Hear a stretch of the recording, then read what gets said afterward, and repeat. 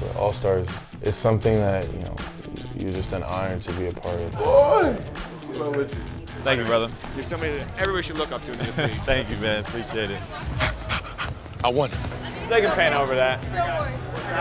A lot of talent here, you know.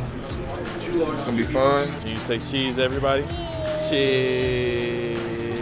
You might just see me play hard a little bit. Just a little bit. This kid is the second youngest kid in the NBA. I'm gonna have to, see you when I get back to Memphis at some point.